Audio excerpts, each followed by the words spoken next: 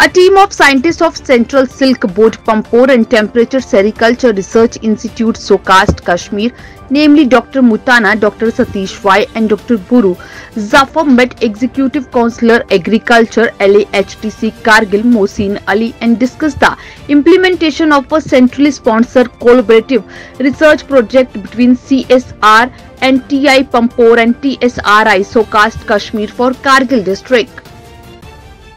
On the direction of Advisor Finance Secretary UT Ladakh Umang Narula, State Taxes Department UT Ladakh organized a one-day GST awareness cum interaction program at Leh in presence of Additional Commissioner UT GST Ladakh DC Rajat Kumar.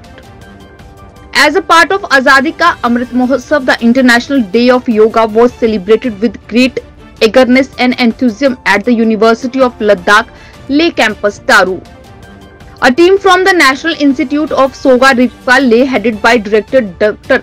Padma Gurmat participated in the main event of the 8th International Day of Yoga observed led by Prime Minister Narendra Modi at Mysuru, Karnataka. It was followed by an exhibition on Sowa Rigpa highlighting the fundamentals of Sowa Rigpa and the rich medicinal plants of Trans Himalaya. A team of scientists Dr. Mutna and Dr. Satish Y from Central Sericulture Research and Training Institute, Central Silk Board, Ministry of Textile, Pampore, Jammu and Kashmir and Dr.